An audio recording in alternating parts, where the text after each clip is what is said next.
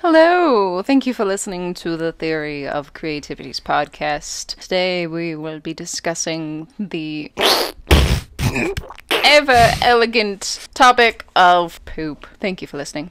Um, yeah, poop. We all do it. Uh, we don't like to talk about it. Um, it's like the big smelly elephant in the room, huh? You know, I swear I just had a dream last night of like somebody talking about poop. We are now. I know. Like so it was, it like a like a premonition of the future? Yeah, it was like like somebody I knew was like in one of my classes, and then all of a sudden, like the topic of poop came up, and I was like, oh, giggles in my head, my my sleepy brain. Um, right. So, do you have any fond poop? Fond poops. know, poops that that that you think about quite a bit. The poops that make me feel skinny afterwards. Those are the best poops. The poops that are like, oh my god, I've needed that for days. Like, those are good. It's probably because I just, like, I eat a lot when I do. So they just come out extra big All at once. all at once. Hmm. I don't know if that's a good sign or a bad sign, but my colon's working. It's there. Hmm. Interesting. What about you? What are your, what are your poops? fondest memories of of the the magic toilet? Hmm. Fondest memories. Uh, the kind of poops that that like it's like you're giving birth, I guess. Yeah, oh yeah. We're, we kind of have to work for it. Yep. hmm Word just kind of keeps coming out. So like, not not like a constipation, but but but where it like you you can feel it throughout your whole stomach and and it was like drops. yeah. Well, uh, see, you need sound effects for this, though. Like, I don't think you can talk about poop without sound effects because there's so many like weird sounds that our bodies make. Yeah, there's there's like the wet one where it's a little, where it's like a like a splash, and there's like the hard ones where it's more like a doosh, right? Yeah, I don't know. I, am not very good at making splash sounds, but like, no, doesn't. Not, no, it's not the same. And then there's the like the pebble kind where you're just pooping Oh, those are the worst.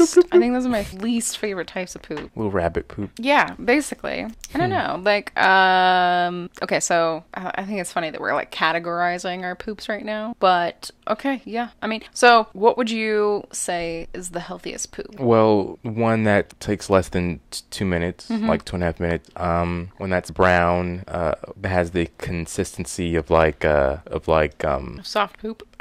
of like mashed potatoes, maybe like like a Yeah. Uh, maybe like chunky mashed potatoes. Mhm, yeah, it's healthy poop. Right. So, have you ever like had that experience where you haven't eaten corn like however long, but then all of a sudden find corn poop? Mm, this may be a bad thing, but I don't look in the toilet after after I poop. It's it's never like on your list Yeah. of things to do. Yeah, I just take the toilet paper and just wipe it and then just throw it in.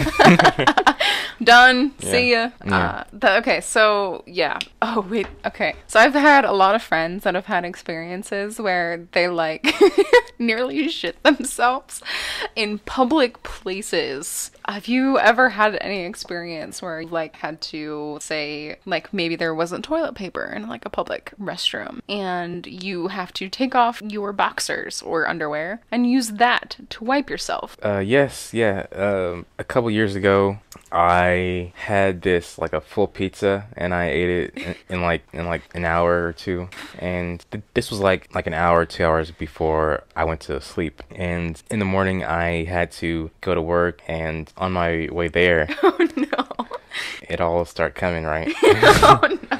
And there was no restroom around um, because you know I've told you this several times where when I come here Right, it's like a ritual. yeah it's weird how my body wants to poop here so same thing I- was driving no restroom around and I felt and I felt it coming and there was no time there was no time to for hesitation so I pulled into a church parking lot uh, oh yeah, I think you remember telling me I story. uh, I dropped trowel and then just it was like a wet kind too, so it was really it was really hard Oh, to keep in. So I just splashed it all on the church parking lot. Somebody must have been pissed the next day. I I, uh, I uh, soiled my undies, so I had to I tossed those out too. yeah. Um, luck luckily I always keep napkins in the in the glove compartment. Yep. So I use those, and I went to work uh, without any undies and flopping, you know. sticky. oh my god, that's seriously okay. So I'm gonna have to post this in um in the description. But there's this funny, funny comedian who talked about her experience on a persimmon diet, and she was like stuck in traffic, right? And the persimmons like they flush you out. So What what's a persimmon? it's it's like a fruit with really Oh, prune? Like a, like a sort of, but it's it's different. Um, and they've got seeds in them, and it's supposed to be very healthy for you. But she was stuck in traffic, and um, yep, she just had to uh, to shit herself in her car, and it she. I mean, the way she explains it is so so just perfect. I don't know if I have a story like that necessarily. I try to make sure that if I'm going out, I make sure that there's restroom everywhere. Um, but you know, like I think my least favorite experiences have been like where I go to a public restroom. I squat myself on the toilet. I You don't sit on it? I usually don't, not in Why public not? restrooms. Um, due to the fact that one day or one time I got like MRSA from a toilet seat. What? Yeah, and this big old boil on my butt cheek for like months. It was disgusting. Ugh, it was oozing. Yeah. So for those of you who have weak stomachs, please don't listen to this podcast. Too late now. yeah. Yeah, you walked into it a little late for that. But yeah, so it was gross. Um, just be careful on public toilet seats. yeah, but but they have the um like the little paper seats, right? They can just didn't you lay that down? I don't ever do that. Why not? I don't know. I think it's just because like it's a hassle and it's like you're already in the toilet. I already have to go. I feel like I would shit myself before I put that on there. Isn't it kind of, kind of annoying when like you you're you, you have to go poop and you, uh you're doing a pretty good job at hol- at holding it in, but then like once you get close, like quote quote unquote close, Mm-hmm. which is like two miles away or or something, then it starts to come like your body is is, is like Nope. prepping your No. you know, yes. And you're like, that's all you can think about too. Like that's and you try to think of something. Oh else. my god. And like a second feels like a year. Mm-hmm.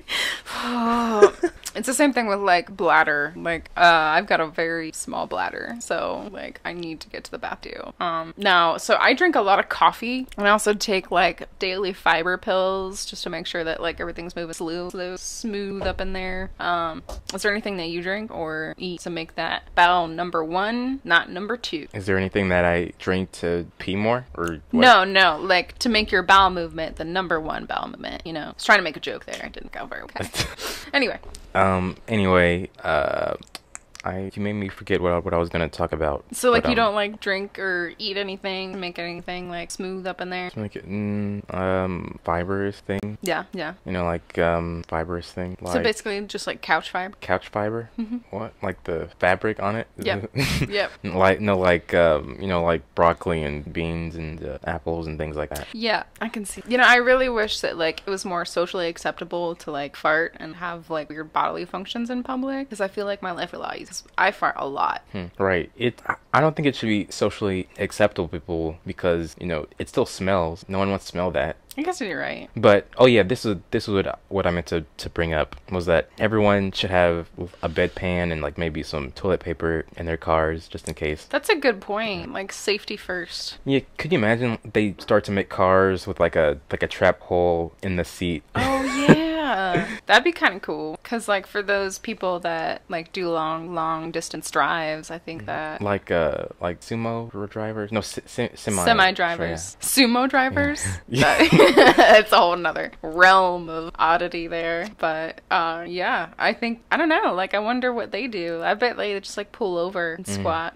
Oh, okay. So cool experience. Probably the coolest experience. This wasn't a poop, but this was a pee. I was I was in Iran, and my uncle and I we were driving uh, from Tehran down to the Persian Gulf, and it's about a five hour drive. Um, so we got there and it was beautiful, but on the way back, like I mean, if you've ever like studied Iran's geography, it's very mountainous and it's beautiful like absolutely beautiful. So it's like sunset um i had to pee so my uncle like pulled over on the side of the road and like there's like traffic going all through this place and i just had to pee so i like we got out and i peed on the side of a very beautiful mountain sorry zagros mountain and like sunset and it was just like perfect. Like if i could have that experience every single day for the rest of my life yeah.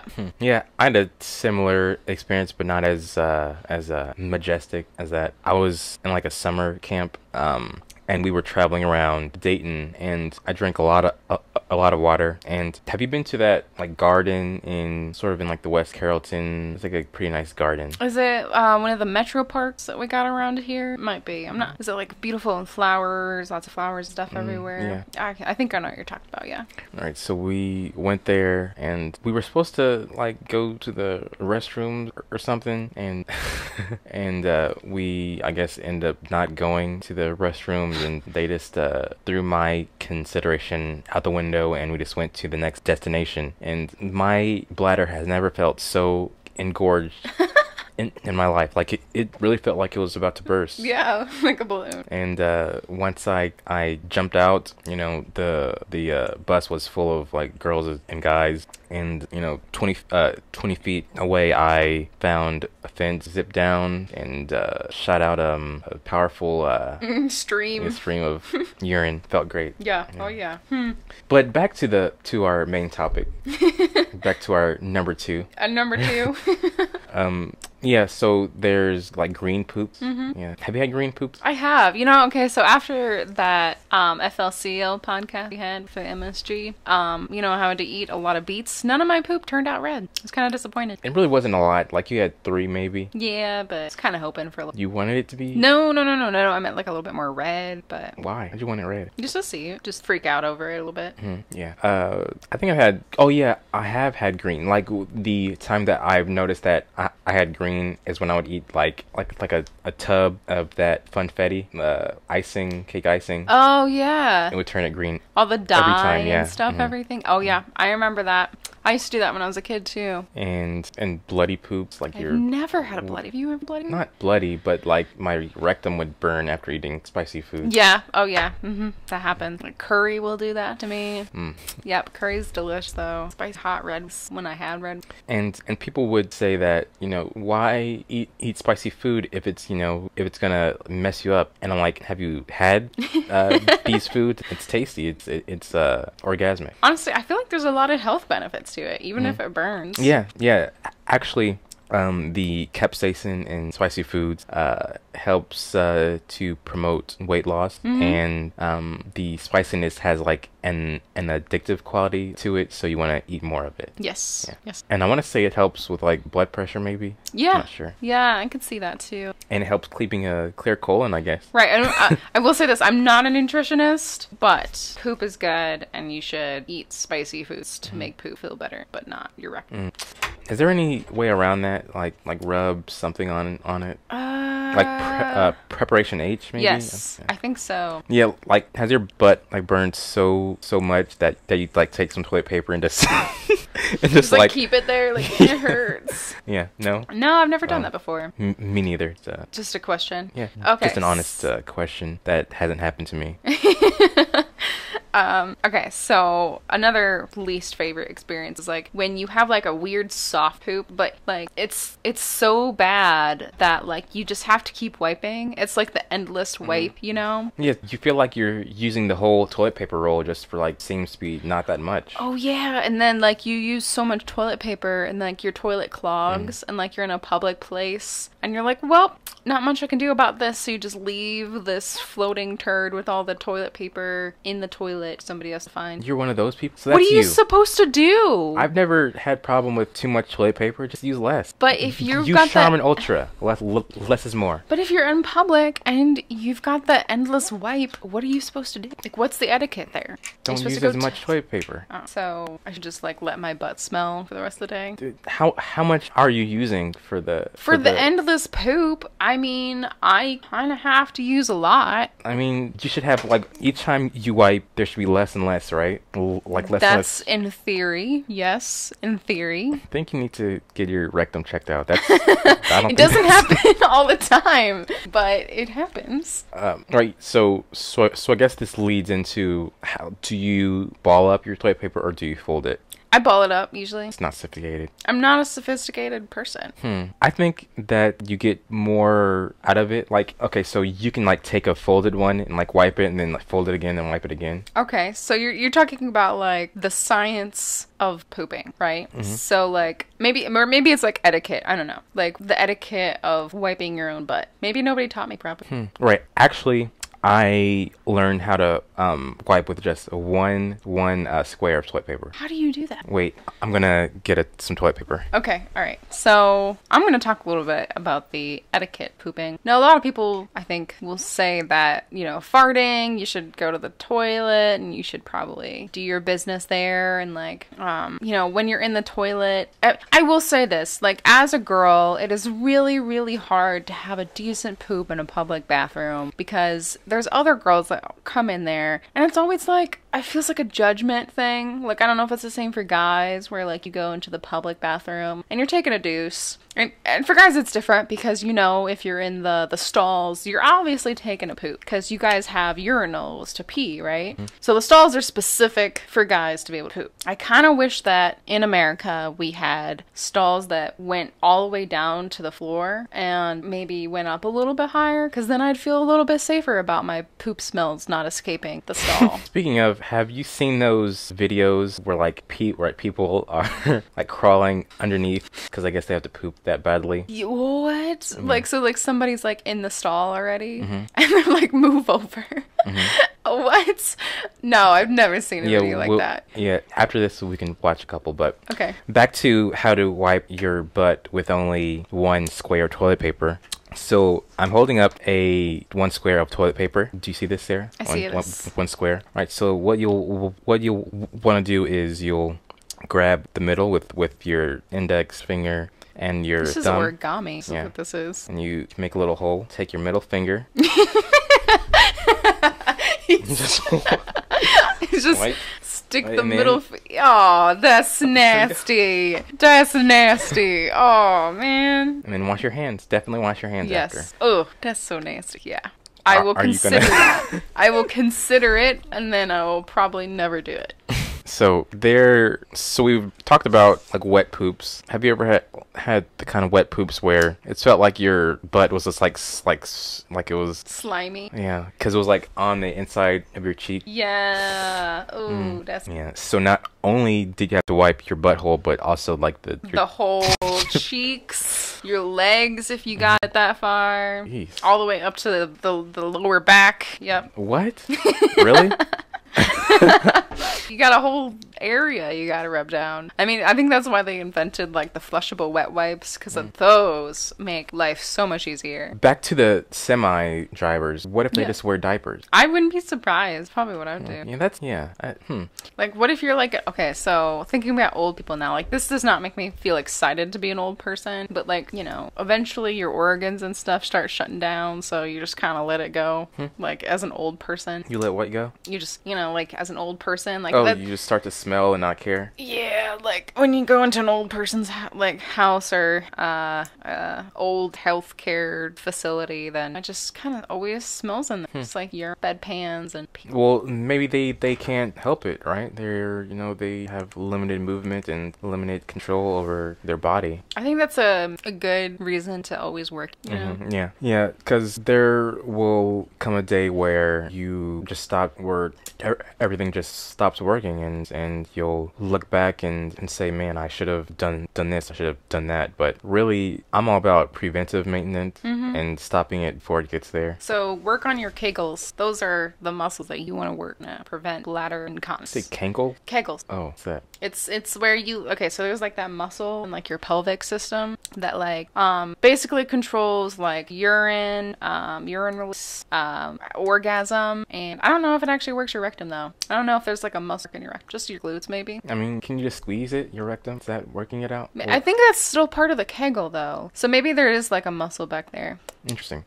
Yeah, uh, I think I mentioned this in a previous podcast, but there's this old guy, this old a- Asian guy that runs basically every day, and he's like really old, and you know he's got you know toned muscles and stuff. So you know you definitely want to stay on stay on top of it. It's never too late to stop and get things right. Nope. But enough of this exercise. Get back to poop. Yes. There- we need more poop. We need Are there any talk. tips that you could give to people to have uh, better poop lives? Better poop lives. Um, drink a lot of water. I drink a lot of coffee. I should drink more water. Yeah, water definitely. Fiber, fiber is important. Your um, minerals and nutrients like salt and magnesium are really, really good for muscle um, movement. Uh, coffee does have magnesium in it. That's why it makes you poop. Nicotine also kind of relaxes the bowels. I'm not saying you should go out and smoke, but it does relax the bowels. Uh, Mm, Maybe to get yourself started, um, get like a stool softener, I guess, Mm-hmm. or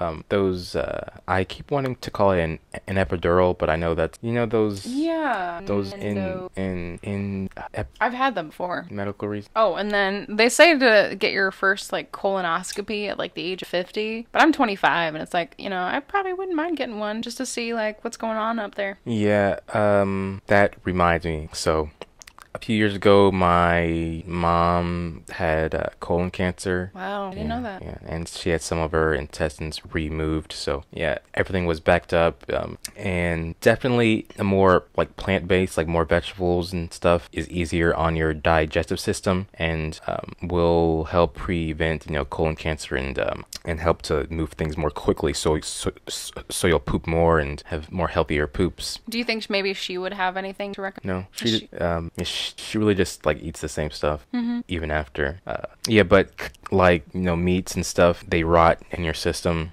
and you know that that can probably lead to smelly poops. Because we've talked about this, smelly poops. That, that's Mm-hmm. Yeah. right. Like what what country has the smelliest poops? And I would imagine, America, yeah, a country that eats lots of like cheese and meat. chemicals, processed stuff. Like that's the thing though. It's like if you're gonna if you're gonna prolong your colon health, prolong your health in general. I mean, it, it a lot of it starts in the gut. You know, your your mental health, your physical health. It all starts with weight. Um, and you know, like if you're eating a lot of fish that has mercury in it, you could affect your brain. Um, a lot of heavy metals, a lot of processed foods with chemicals. That stuff sticks in your gut, goes through your goes bloodstream, um, into your kidneys, your liver, everything. It affects everything. So you have to consider that this stuff starts with what it starts at the mouth, ends at the butt. Yep, yep, definitely. I am actually in the process of, of like trying out raw a raw vegan uh, diet. I'm I'm gonna um so I still need a little bit more research on it.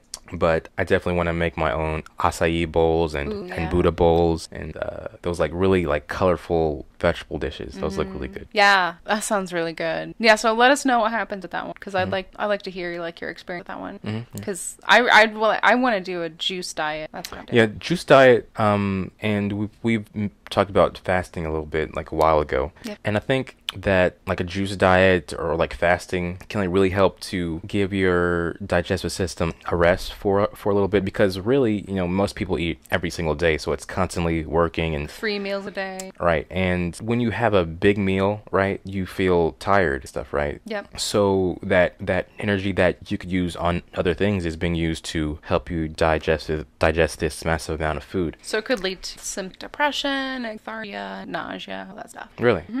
Yeah. Yeah. And I'm not, you know, uh, su- s- suggesting that people start fasting and, and uh, juicing and stuff. Right, because we're not nutritionists, we're just Right. advocates. Yeah, yeah. Just kind of spreading information um, in case you know you didn't know these things. But um, yeah, so yeah, tell me how that juice thing works out. That sounds. yeah. I've heard flax, like flaxseed, Mm-hmm, mm-hmm. is really good for that. Um, Another thing is like um, I was reading about the feast and famine diet. That's it's kind of along the same lines as fasting, where you feast one day for one large meal and then you skip a couple days and you let your body recover. So that's the the feast and famine where you you basically like gorge on food in one day, and it, it kind of goes back to like our ancestors where we were hunters and gatherers and we would hunt a big meal, a big you know deer, antelope, whatever. Then we would feast on that one, and then we'd go several days without eating a large meal, and then we would hunt again, and then we would eat again for feast and famine. right. I think I mentioned this on the time that we talked about fasting. Was that like it can like fasting for like three or more days for a certain for a certain amount of time can like increase brain function Immune system. Mm-hmm. Yeah, so you know, there's some benefits to like you know, like pushing your body outside of you know what's comfortable because right. So we pretty much most of us know that you know sugar, you know, sugar is is more rare in nature. You know, when we were hunters and gatherers. so you know once we found that you know it really you know helped us to uh, to like thrive and and to uh, sur- sur- sur- survive so we uh but now since we have it so readily available we kind of are addicted to it Yep. and so yeah definitely be more aware of what you eat if you're looking for for like a better quality of life in the long run but if you don't care just Yeah. keep doing what you're doing you know if you want to have unhealthy nasty smelly poops Acne. yeah sick all the acne right yeah then yeah keep doing what you're doing Yep.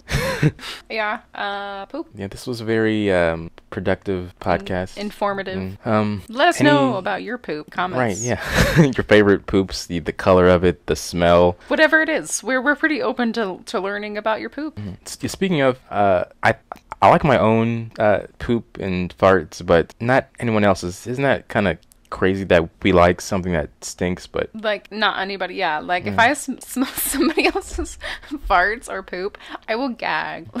Like my mom. I mean, she's she lives pretty healthily. She uh she pretty decently. She eats a lot of vegetables, but her poop smell like terrible, terrible. and asparagus. Asparagus is like one of those foods that make your pee smell. I don't. I'm not a fan of asparagus. Right? Yeah, y- you mentioned that, and I really like it. So maybe I'll make make some All to where it's tasty. That that'd be good. I'll try it. Yes. anyways, this has been a very uh, shitty podcast.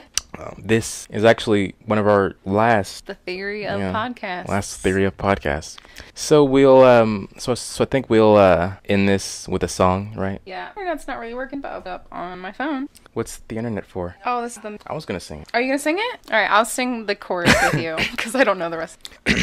All right, so we're gonna end this long, like thirty-five podcast journey for now, right? For now, uh, with a with, with a song from our childhood that I hold very dear. hey, I thought you were gonna use bongos. What? I can go get them. Okay, yeah. All right, so I'm no singer. This is just like me having some fun. are, are you ready? Ready? Yeah, start me off. I'm just gonna play. Okay, okay can you play it quiet? All right, Those are loud. I got rings on. Oh. So long, farewell to you, my friends.